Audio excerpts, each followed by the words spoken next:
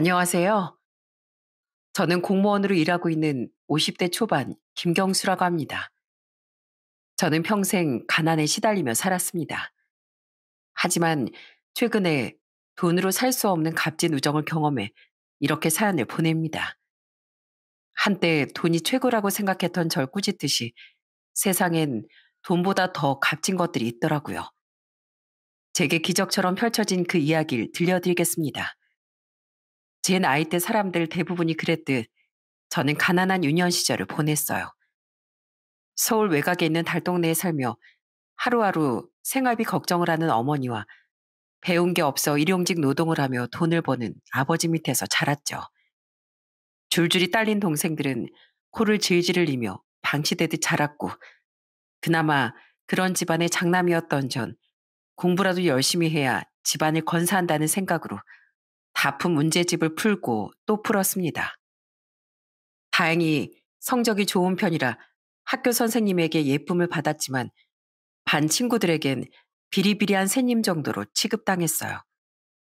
저희 집이 가난했던 건 학교 친구들 대부분이 알던 사실이라 저에겐 뜯을 돈도 없다며 반에서 힘 좀 쓰는 친구들에게 대놓고 무실당했습니다. 어찌 보면 다행이었다고 해야 할까요?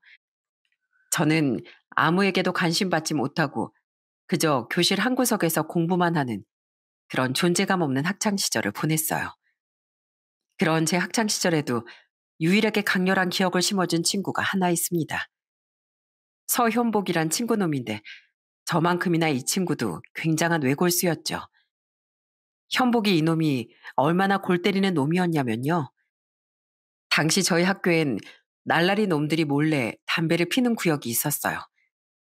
학교 한 구석에 여름이면 배롱나무가 자라던 곳이었는데 바로 옆에 쓰레기장이 있어서 다른 사람들은 잘 가지도 않는 곳이었죠.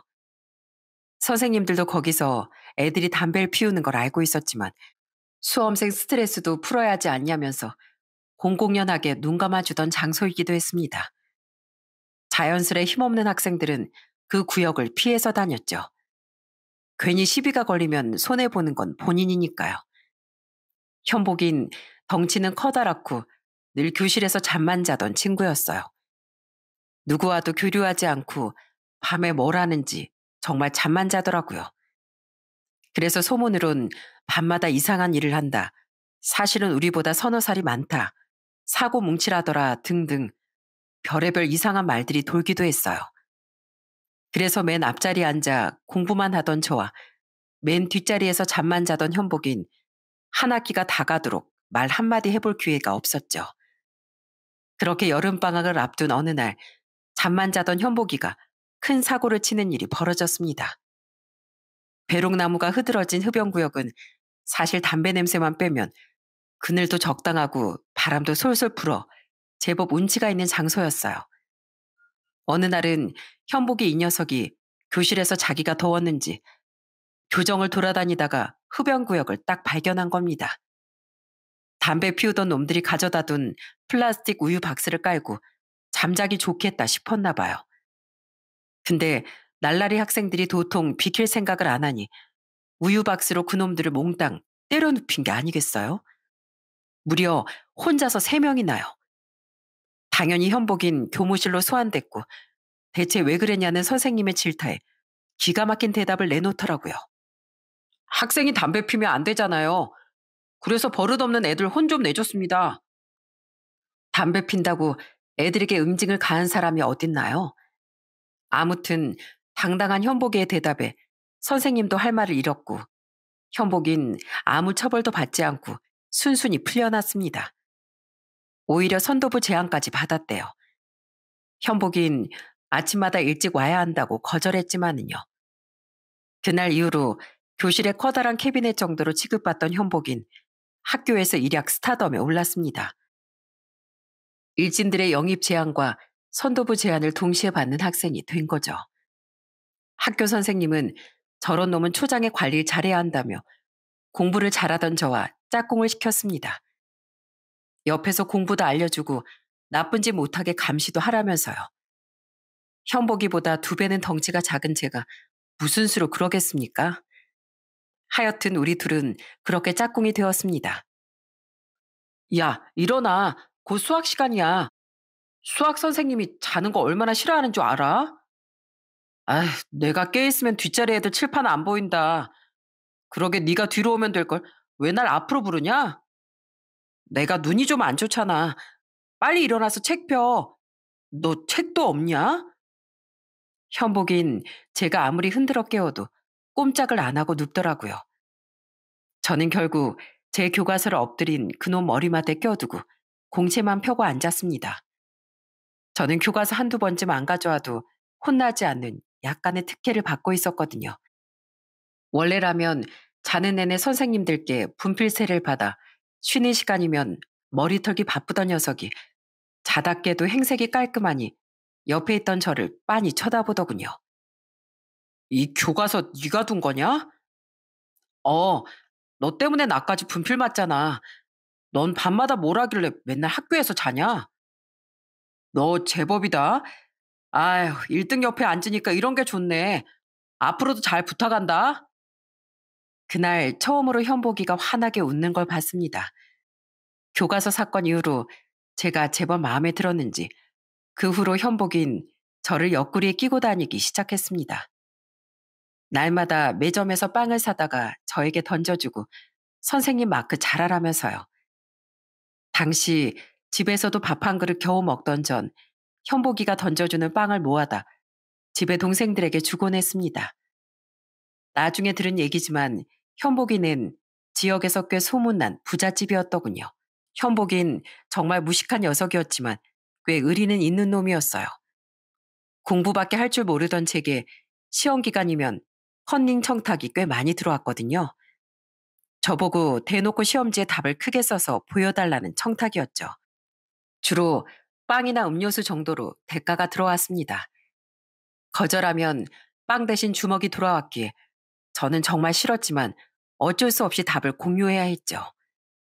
야, 왜 답을 다 보여주냐? 선생님께 걸리면 너만 혼나잖아. 빵이 그렇게 먹고 싶어? 내가 더 사줄게. 나도 싫어. 근데 안 보여주면 때리는데 어떡해. 맞을 바엔 그냥 다 몇 개 보여주는 게 낫지. 제 하소연에 현복인 대답도 없이 본인 주먹만 만지더군요. 눈빛이 하도 사나워서 저도 말을 말았습니다. 그렇게 시험날이 다가왔고 저는 약속한 대로 시험지 오른편과 왼편에 대문짝만하게 답을 적었어요. 작게 적으면 잘 안 보인다고 또 때리거든요. 현복인 제 옆 책상에 앉아 그런 저와 컨닝하느라 바쁜 일진들을 번갈아 보더니 벼랑간 일어나 필통으로 일진들 머리통을 갈겼습니다. 어찌나 세게 때렸던지 필통 안에 있던 연필이 다 부러질 정도였어요. 일진 녀석은 머리를 부여잡고 쓰러졌고 갑작스런 소란에 역 교실에 있던 선생님들까지 다 뛰어올 정도였죠. 현복인 다시 교무실로 끌려갔습니다. 너 갑자기 무슨 짓이야? 시험 보던 애들을 왜 때렸어? 그 친구들이 컨닝을 하고 있길래 때렸습니다. 시험 중에 말하면 안 되잖아요. 그래서 조용히 때린다는 게 힘 조절이 안 됐습니다. 그게 말이 돼? 너 이거 그냥은 못 넘어가. 애들 시험도 다 망쳤고 애 부모님이 당장 학교로 찾아오신댄다. 너도 당장 부모님 모셔와. 다음날 현복의 어머니는 학교로 불려오셨어요. 잡지에서나 보던 고급 승용차를 타고요.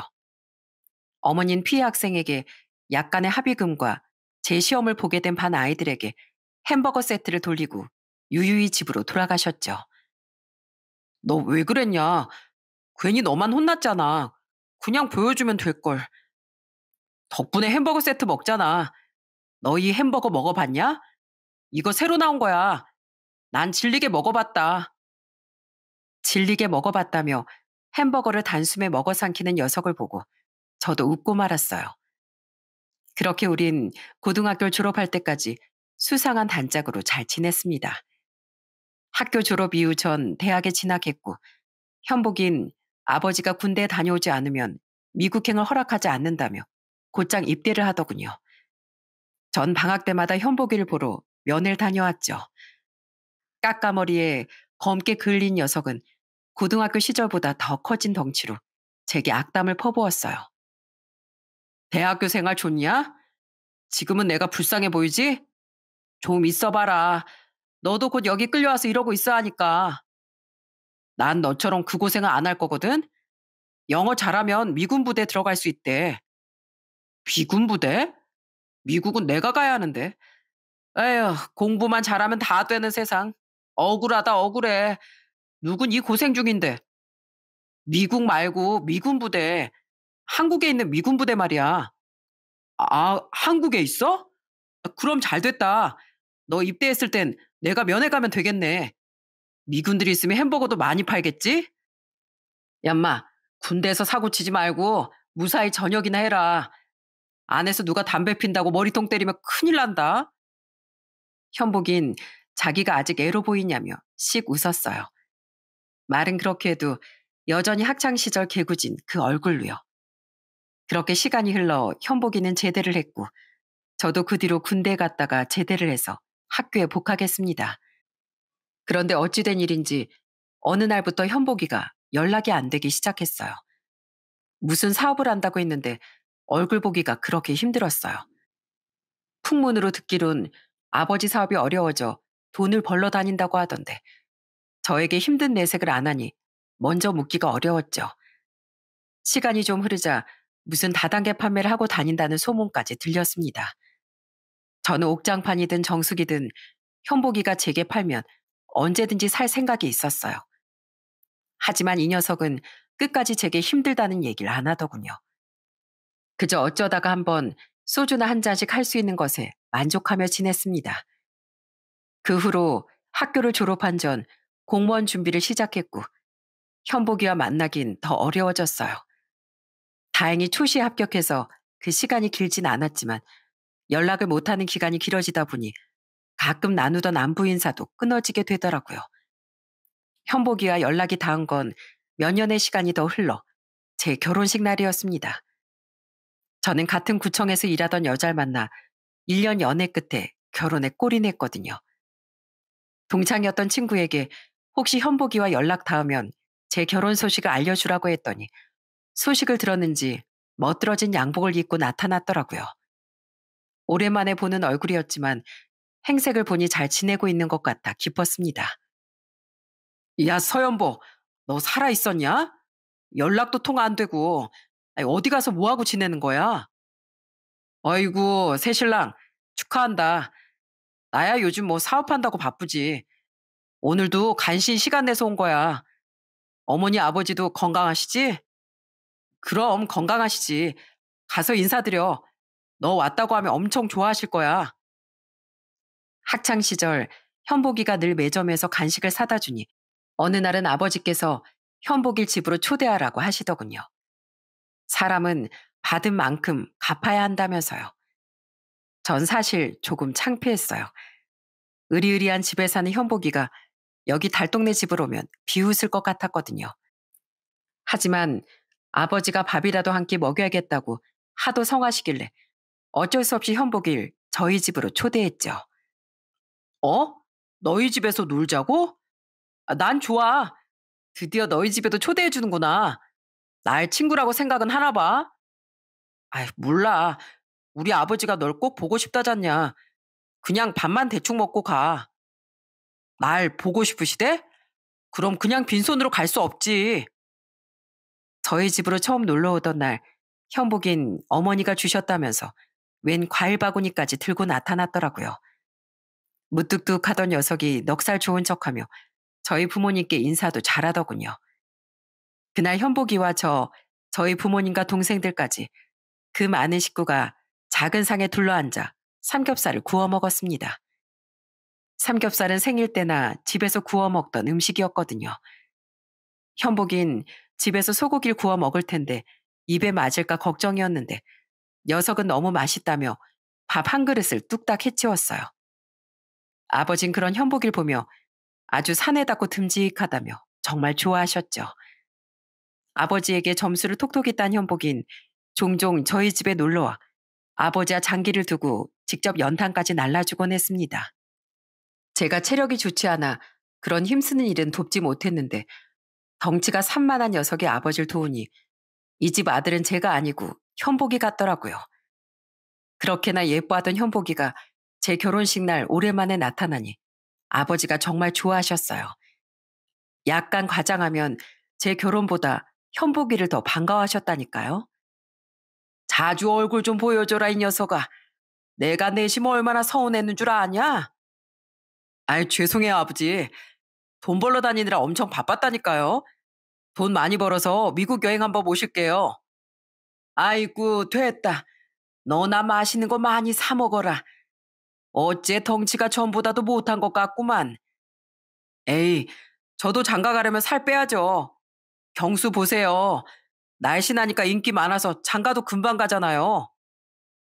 현복인 그날 바쁜 절 대신에 제 부모님까지 챙기며 끝까지 자리를 채워주었습니다. 이제 둘 다 나이를 먹어 각자 자리를 잡았으니 다시 예전처럼 자주 만날 수 있을 거라 생각했죠. 몇 년 뒤 현복이도 결혼을 하고 저는 큰아이 손을 잡고 결혼식장을 방문했어요. 현복이에게 부러우면 얼른 아이부터 낳으라고 장난을 쳤죠. 오랜만에 뵙는 현복이의 부모님은 예전보다 연세가 드셨지만 그래도 정정하신 것 같아 다행이었어요. 고등학교 시절 어리숙하고 어딘가 하나씩 부족했던 우리였는데 이제 각자 결혼을 해 한 집안의 가장이 됐습니다. 감회가 정말 새롭더군요. 그 이후로 전 아이를 셋이나 낳고 직장 일을 하느라 분주한 하루하루를 살았습니다. 시간이 어떻게 가는 줄 모르게 아이들을 먹이고 입히고 키우느라 절 돌아볼 시간조차 없었죠. 현복이와 연락은 뚝 끊겼지만 그 녀석도 결혼해서 애들 키우느라 바쁘겠거니 생각했어요. 항상 잊을만 하면 나타나 절 놀라게 하던 놈이었으니까요. 그렇게 시간이 얼마나 지났을까요? 우리 집안에 큰 불행이 닥치고 말았습니다. 그날도 아침부터 애들 학교 보내느라 정신이 없던 와중에 어머니께 전화가 걸려왔어요. 그 전화를 받는 순간 저는 털썩 주저앉고 말았습니다. 엄마, 아침부터 무슨 일이세요? 아, 저 이제 출근하려고요. 아이고, 경수야, 큰일 났다. 네 아버지가 쓰러지셨다. 지금 병원이야. 이러 어쩌면 좋니? 빨리 와라. 엄마 무서워 죽겠어. 아버지가 쓰러지셨다는 전화였어요. 원인은 뇌출혈이었습니다. 아버진 그렇게 한 달을 병원에 계시다가 끝내 작고하셨습니다. 항상 몸 쓰는 일을 하느라 곁에 가면 파스 냄새뿐이던 아버지. 효도시켜드린다는 약속만 드렸지 제 아이들 키우느라 바쁘다는 핑계로 자주 찾아뵙지도 못했어요. 부모님을 잃은 뒤에야 그 소중함을 안다더니 제가 딱 그런 아들이었네요. 슬픔에 몸도 못 가는 어머니와 동생들을 대신해 저라도 정신을 차려야 했어요. 서둘러 장례 절차를 알아보고 지인과 친척들에게 연락을 돌렸습니다. 부고장을 작성하는 것도 보통 일이 아니더군요. 그나마 마당 발인 친구들에게 대신 연락을 좀 돌려달라고 부탁하고 저는 빈소에서 조문객들을 맞이하느라 바빴죠.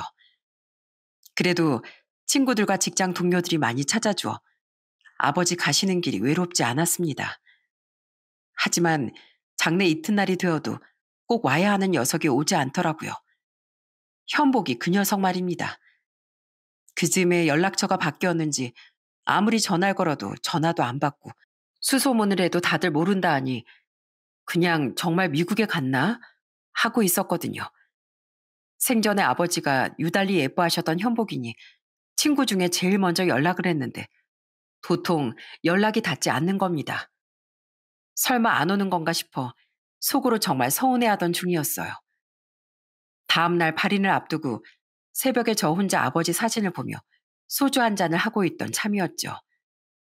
조문객도 아무도 오지 않을 시간인데 누군가 쭈뼛거리며 다가오더라고요. 저는 제가 모르는 아버지 지인인가 싶어 일단 인사를 드렸는데 자세히 보니 현복이었어요. 경수야, 나다. 너무 늦게 왔지? 미안하다. 아버지, 제가 미국 여행 시켜드린다고 했는데 이렇게 가시면 어떡해요? 현복의 행색은 도대체 그동안 무슨 일이 있었던 건지 제가 못 알아볼 정도로 초라했어요. 평소에 찔러도 눈물 한 방울 안 나오게 강하던 녀석이 어느새 울보가 다 되었더군요. 몸도 바짝 말라서 이제는 제 덩치가 더 커 보일 지경이었습니다. 현복인 다시 아버지 영정사진에 넙죽 절을 하더니 눈물을 쏟고 황급히 장례식장을 떠났습니다. 제가 번호를 물어볼 시간도 안 주고 도망치듯 가버리는 뒷모습을 보니 분명 제가 모르는 무슨 일이 있구나 싶더라고요. 포기가 주고 간 봉투를 열어봤습니다. 봉투 안에는 만 원짜리 두 장과 편지 한 통이 들어있더라고요.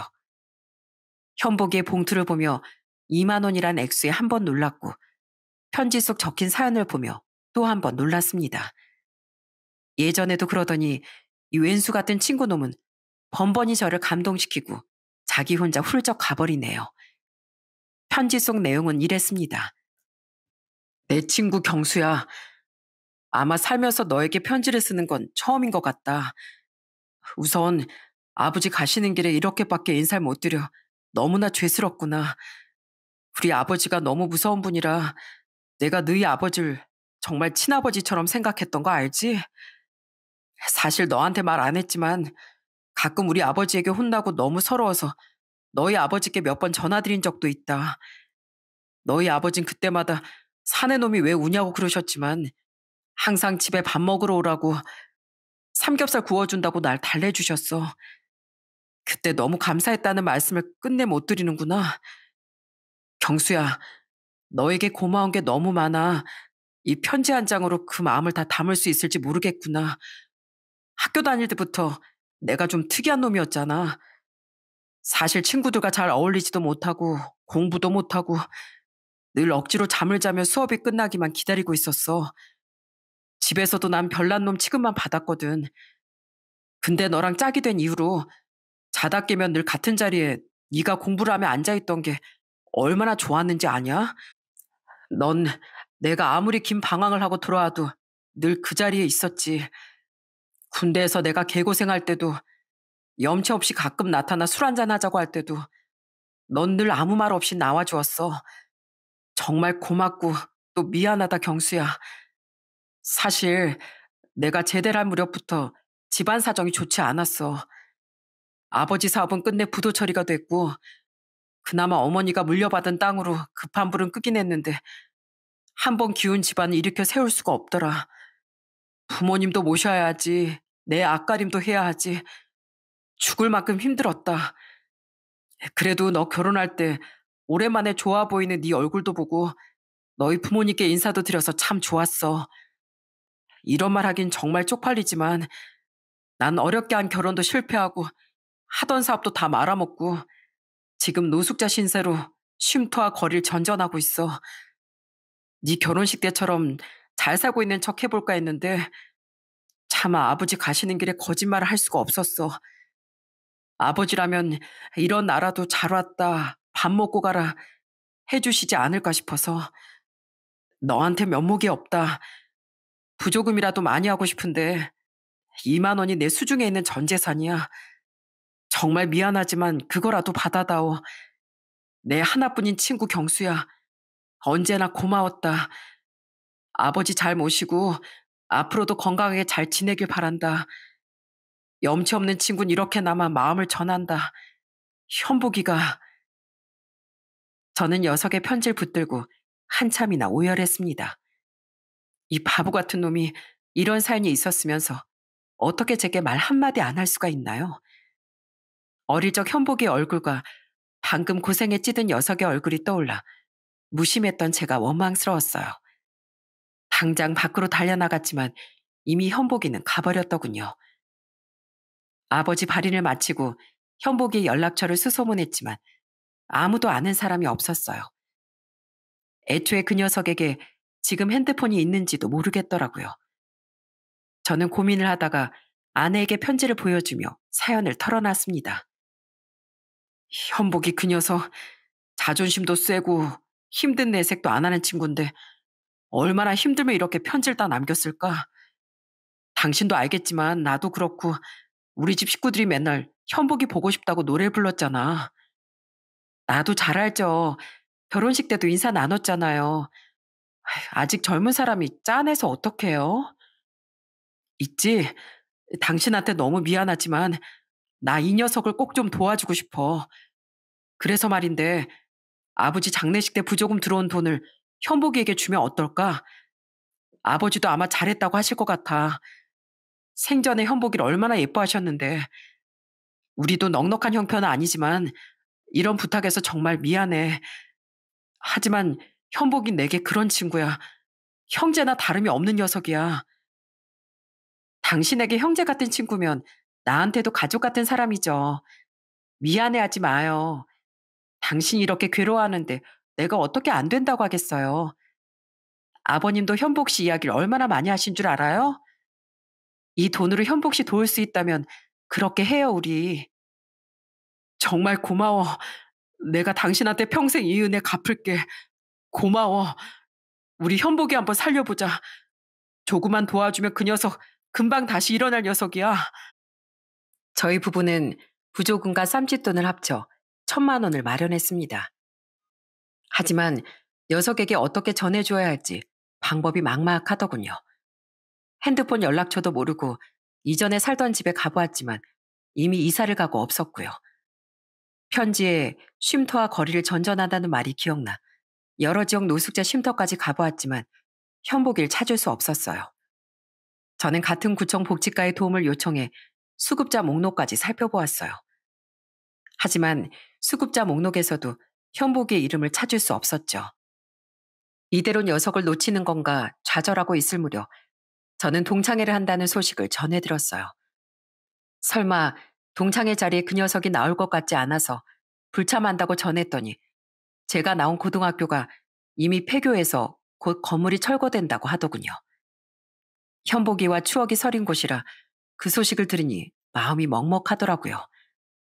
며칠이 지나 이른 퇴근을 하던 어느 날 갑자기 학교 생각이 나더라고요. 곧 폐교된다는데 마지막으로 학교를 보고 싶다는 생각이 들었어요.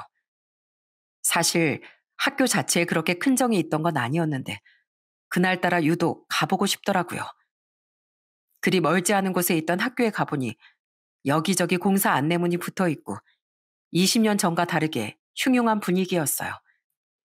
그래도 이곳에서 공부하고 뛰어놀고 했었는데 추억을 하나하나 더듬다 보니 어느새 학교 깊숙한 곳까지 들어오게 되었습니다.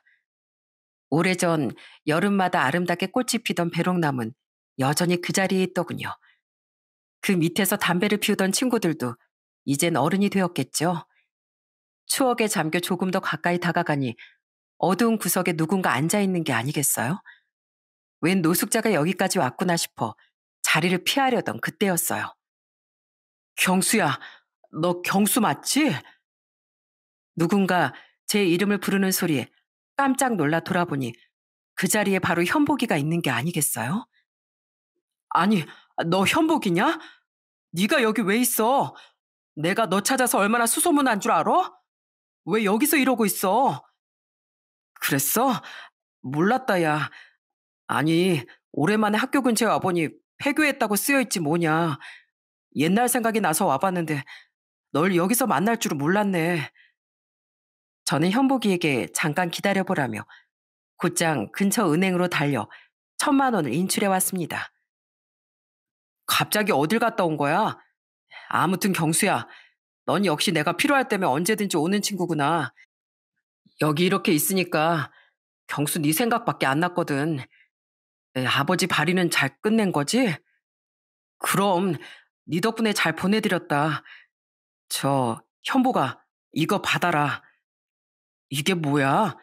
설마 편지 답장이라도 쓴 거냐? 자식이 닭살 돋게 무슨 답장을. 와이프하고 내 마음을 보탰으니까 부디 거절하지 말고 받아줬으면 좋겠다. 아니, 넌 무조건 받아야 돼. 뭔데 그래? 현복인 봉투 안에 있는 천만 원을 보더니 깜짝 놀라더군요. 그러더니 냉큼 다시 제게 돌려주었습니다. 이게 다 무슨 돈이야? 설마 나 준다고? 아, 싫다. 아, 난이 돈 못 받아. 아니, 안 받아. 아버지가 너한테 주시는 마지막 용돈이라고 생각하고 제발 받아줘. 어? 현복이와 전 서로 한참을 돈봉투를 가지고 씨름을 했네요. 저는 받으라고 화도 내보고 애원도 해보았지만 이 녀석 고집이 워낙 항소 고집이라 도통 받질 않더군요. 경수야, 이미 마음으로 몇백억 받은 것 같다. 그러니까 이 돈은 받은 셈 치자. 받아야 받은 셈 치는 거지. 제발 좀 받아. 이거 그냥 주는 돈 아니야. 빌려주는 거야. 나중에 너 돈 많이 벌어서 다 갚아. 이자까지 다 쳐서. 아니다. 나 미국 여행 시켜줘라. 우리 와이프랑 애들까지 전부 다. 나 애가 셋인 거 알지? 너 천만 원도 더 쓸걸? 현복인 받아달라고 사정하는 제 고집에 못 이겨 결국 돈 봉투를 받아들었습니다. 내가 이 돈까지 받으면 앞으로 네 얼굴 어떻게 보겠냐? 그니까 앞으로 잠수 그만 타고 평생 형님으로 모셔 임마. 알겠냐? 또 연락 두절 되기만 해봐. 그리고 아내 편지는 쑥스러우니까 나중에 읽고. 전 그날 현복일 데리고 사우나에도 갔습니다. 학교 다닐 땐 추운 날이면 둘이 곧잘 목욕탕도 다니고 했거든요. 뗏물이 줄줄 흐르는 녀석의 등을 밀어주며 잔소리 꽤나 했습니다. 힘들 때 돕고 사는 게 친구 아니겠냐? 네가 아버지 장례식 때 전 재산을 주고 갔으니까 나도 내가 할 수 있는 모든 걸 해야 맞지. 안 그래? 우리 아버지가 맨날 인간이라면 응당 은혜를 갚아야 한다고 어찌나 말씀하셨는데. 네 말이 맞다. 아버지 말이 맞아. 내가 이 은혜 꼭 갚을게. 나 꼭 다시 일어날 거야. 미국 여행? 그게 웃을 정도로 성공할게. 미국 여행 말고 아주 세계 일주도 시켜줄게. 제발 그래라. 나 짐 싸두고 기다리고 있는다. 하지만 그 뒤로도 현복인 감쪽같이 사라져버렸습니다. 솔직히 배신감도 들었던 게 사실이에요. 저랑 그렇게 약속을 했건만 연락도 또 끊겨버리고 잠적을 해서 말이죠. 나와 한 약속은 현복이한테는 아무것도 아닌가 보구나 하는 생각까지 들더라고요. 그래서 저도 속이 상한 채 그냥 있기로 했어요. 그저 어디서 밥은 잘 먹고 다니길 바랬고 길거리나 공사장에서 노숙하지 말고 따뜻한 곳에서 아무 탈 없이 잘 살길 바랄 뿐이었죠. 저도 애들이 크면 클수록 신경 쓸 게 많았고 업무적으로도 신경 써야 할 게 많기도 했고요. 그런데 아마 애들을 키워보신 부모님들은 다들 제 마음 아실 겁니다. 그렇게도 착했던 우리 큰애가 사춘기가 오면서 점점 말을 안 듣고 나쁜 친구들과 어울리는 게 아니겠어요? 가라는 학원은 안 가고 나쁜 친구들과 어울려 이상한 행동을 하고 다니니 속이 뭉그러지더군요. 달래기도 해보고 혼도 내보기도 했지만 저나 아내 말을 도통 들을 생각을 안 하더군요. 너 정말 왜 그러는 거야? 뭐가 그렇게 불만이 많은 건데? 하라는 그림도 안 그리고 오늘은 또 왜 학원을 안 갔어? 또그 친구들하고 어울리고 논 거야? 하, 또 잔소리 지겨 죽겠어. 이제 나도 애가 아니라고. 엄마 아빠 때문에 내가 얼마나 숨 막히는 줄 알아? 나도 학생이지만 하고 싶은 게 있는 거라고. 언제 엄마 아빠가 공부해라, 그림만 그려라 라고 했지. 진심으로 날 한 번이라도 생각해 준 적은 있어? 이래서 내가 집에도 오기 싫은 거야. 그냥 내가 뭐라든 냅둬. 다 지겨워 죽겠으니까. 뭐, 뭐라고? 너 지금 그게 엄마 아빠한테 할 소리야? 다 너희 잘 되라고 엄마 아빠가 맞벌이 일을 하고 있는 거 아니야? 네가 큰애면 이럴수록 동생들 챙기고 엄마 아빠를 도와줘야지. 네가 이렇게 엄마 아빠 속상하게 하면 되겠어? 거봐. 엄마 아빠 내 마음도 모르고 무조건 네가 큰애니까 동생들 챙겨야 한다. 공부도 잘해야 한다. 무조건 나한테 책임을 전가하고 있잖아. 나도 아직 학생이고 부모님한테 사랑받고 관심받고 싶다고. 엄마 아빠는 그것도 모르면서 저희 부부는 딸의 오열에 고개를 숙이고 말았습니다. 생각해보니 우리가 맞벌이 부부를 하면서 한 번도 큰애에게 따뜻한 말 한마디 해준 적이 없더라고요. 엄마 아빠 없을 때 동생들 챙겨라, 밥 챙겨라. 그러면서 공부는 잘해야 한다. 그림도 잘 그려야 한다. 원하는 것만 많았던 것 같습니다. 아내는 자책을 하며 큰애를 따뜻하게 안아줬어요. 그래, 그래. 엄마가 미안해. 이 엄마가 우리 딸한테 잘못했어. 엄마 아빠가 우리 딸한테 의지 많이 했었나 봐. 엄마가 이제부터라도 우리 딸한테 신경 많이 쓸 거야. 그러니까 울지 마. 넌 세상에서 엄마한테 가장 소중한 딸이야. 알았지? 아내와 딸을 보며 전 아빠로서 더 책임감을 가져야겠다고 생각했어요. 그래서 그 이후부터 애들과 같이 시간을 많이 보내려고 노력했습니다.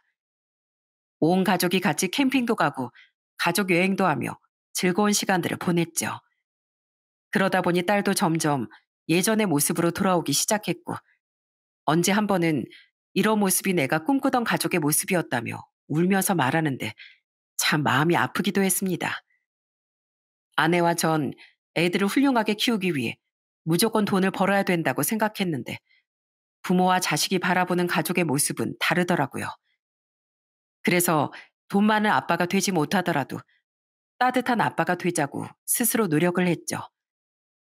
그런 덕분에 애들과의 관계도 많이 좋아질 수 있었습니다. 역시 뭐든지 사람은 대화가 필요하다는 걸 뼈저리게 느낀 시간들이었죠. 그렇게 세월이 또 유수같이 흘러 훌쩍 5년이라는 시간이 흘렀습니다. 제 나이도 어느새 마흔 후반이 되었죠. 애들도 훌쩍 자라 좀 있으면 큰애가 대학에 갑니다. 와이프와 전 흰머리도 하나 둘씩 나기 시작하더군요. 언제 애들이 이렇게 컸는지 애들 셋 대학 보내려면 돈 많이 벌어야겠다고 농담 섞인 걱정을 주고받곤 했죠. 큰애가 미술에 소질이 있어 미술 공부를 시키고 있었는데 방학 때마다 있는 특강 한번 시켜주기도 벅찼거든요. 미대 등록금은 다른 전공보다 훨씬 비싸다는데 대출이라도 받아야 하나 찾아보고 있던 시기였어요. 그날은 퇴근을 하고 집으로 돌아갈까 혼자 소주 한 잔을 하고 들어갈까 고민하고 있었는데 아니 몇 년 만에 현복이에게서 전화가 걸려왔어요. 문자만 가끔 날아왔지 통화를 한 건 정말 오랜만이었어요. 아니, 아, 이게 누구야? 야, 드디어 목소리 들려주나? 이 비싼 친구놈아. 어디야? 우리 소주 한잔 하자. 몇 년 만에 걸려온 전화가 소주 한잔 하자는 말이니 그때 가슴이 철렁하더라고요. 혹시 무슨 일이 또 있는 걸까 봐요. 저는 일단 아무것도 묻고 따지지도 않고 곧장 녀석이 있는 곳으로 향했습니다. 녀석은 허름한 대포집에서 혼자 술잔을 기울이고 있었어요. 아, 이것도 무슨 일이 있구나 싶어 현복이 옆에 앉았습니다. 청숙맞게 왜 이러고 있어? 너 또 무슨 일 있는 거야? 무슨 일 있으면 이 형님에게 바로 말하라니까. 어, 금방 왔구나. 자식이, 아, 너 오랜만에 보자마자 잔소리를 하냐. 무슨 일인데? 숨기지 말고 다 말해봐 어서. 하던 일이 또 힘들어진 거야? 현복인 제 말에 대답은 하지 않고 웬 검은 가방 하나를 식탁에 올려두었어요. 이게 뭐냐? 야, 열어보기 무서워서 못 만지겠다, 야. 너 무슨 상상하는 거냐? 아이, 얼른 열어봐. 떨리는 마음으로 가방을 열어보니 엄청나게 많은 돈 뭉치가 들어있는 겁니다. 내가 은혜 갚는다고 했지? 이 돈으로 너와 너의 가족들한테 받은 은혜를 다 갚을 수 있을지 모르겠지만 이 돈 꼭 받아줘라. 이거 현찰로 다 뽑아오느라 힘들어 죽는 줄 알았어, 임마. 이자라고 생각하고 받아. 현복인 이제야 제게 은혜를 갚는다며 무려 3천만 원을 제게 건네더군요. 해외로 건설 노동자로 가서 그동안 모은 돈이라고 하더군요. 제가 준 천만 원이 없었다면 해외에 나가지도 다시 일어설 희망도 없었을 거라 말했습니다. 현복인 그렇게 5년이라는 시간을 해외에서 보내며 돈을 모아 삶의 희망을 얻고 제게 찾아온 거였죠. 그리고 본인이 모은 돈 중에 3천만 원을 제게 건넨 거였어요. 야, 현보가 이게 무슨 돈이야? 내가 무슨 고리대금 업자도 아니고 세상에 어떤 이자가 원금의 3배가 될 수 있냐? 너 어릴 때부터 수학 못하더니 그래도 네가 잘 돼서 주는 돈이라면 내가 다 기쁘다.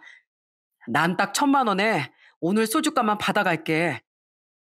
경수야, 어릴 때도 그렇고 내가 가장 힘들었을 때도 그렇고 늘 사는 게 죽기보다 힘들 때 다시 날 일으킨 게 너야. 농담으로 말했지만 사실 너한테 받은 고마운 거 은혜를 갚으려면 이 돈도 한참 모자란다고 생각해. 나 정말 돈 많이 벌었어. 다시 우뚝 일어섰어. 그러니까 이 돈 꼭 받아줬으면 좋겠다. 오랜 친구의 마음이자 부탁이야. 안 받으면 나 자존심 상해. 현복인 정말 진지한 얼굴로 제게 자기 마음을 받아달라고 부탁했어요. 어릴 때 얼굴 아니면 힘든 시절 그늘진 모습만 보이던 녀석이 이제야 다시 보이더군요. 제 앞에 앉은 현복인 어엿한 예전의 학창 시절에 멋있는 친구의 얼굴을 하고 있었죠. 하지만 전 그 돈을 받을 수 없었어요. 고국이 아닌 해외에 나가 한 푼 두푼 모은 소중한 돈인데 어떻게 그 돈을 받을 수 있겠나요? 천만 원만 받고 나머진 그 이후에 돌려줬습니다. 현복인 그 이후에 가게를 하나 차렸는데 인테리어 비용하라고 제가 2천만 원을 돌려줬죠. 현복인 제게 못 말린다며 스누스만 지어 보이더군요. 여러분, 이런 게 바로 친구 아닌가요? 어려울 때 도와주고 기쁠 때 또 같이 기뻐해주는 그런 사이 말이죠. 그러면서 말했습니다. 우리가 지금보다 더 늙어 다시 삶의 역경이 찾아오면 언제든지 그때 서로에게 도와주자고요. 그게 친구니까요. 그날 서로 술잔에 따라주던 소주가 얼마나 달고 맛있던지 저는 서로 얼굴을 보며 울다가도 소주 한 잔 털어 마시며 그간 힘들었던 세월을 추억했네요. 그로부터 3년이 지났습니다. 큰애는 무사히 미술대학에 갔고 예상대로 학비를 대느라 등 허리가 휘어가고 있답니다. 그래도 열심히 살아가야 할 이유가 있으니 웃는 날이 더 많아요. 세상 모든 사람들 인생이 그렇듯 중간중간 고비도 찾아왔고요. 언젠가 한 번은 새벽에 병원에서 전화가 온 거예요. 현복이가 자전거를 타다가 좀 다쳤다면서요. 이 녀석은 왜 이렇게 사람 마음을 철렁하게 만드는 걸까요? 당장 병원으로 달려가니 현복인 이미 수술을 받으러 들어가 있었어요. 전 아이고 이놈아 조심 좀 하지 하면서 현복이 곁을 지켰습니다. 다리가 부러진 녀석은 다리에 철심까지 박았네요. 야, 우리 나이면 뼈도 잘 안 붙어. 너 조심 안 할래? 누군 뭐 아래로 떨어지고 싶어서 떨어졌냐? 그리고 누가 보면 우리 60 넘은 줄 알겠다, 야. 이제 50 중반도 안 됐는데. 아유, 잔소린. 야, 그리고 병원비 수납은 왜 했어? 됐어, 임마. 아직 입은 살았네. 태어나면 국밥이나 한 그릇 사라. 수술비라 꽤 많이 나왔을 텐데. 됐고, 내가 다시 입금해 줄게. 됐긴 내가 됐어, 이 자식아. 누구도 먼저 낼 수 있는 사람이 내는 거야. 저흰 지금도 서로 도움이 필요할 때마다 주거니 받거니 하며 서로의 곁에서 가장 든든한 친구로 지내고 있답니다. 이 녀석과 하도 붙어 지내니 아내가 가끔 질투를 할 정도라니까요. 우리 애들도 현복이에게 삼촌 삼촌 하면서 잘 지내고 있고요.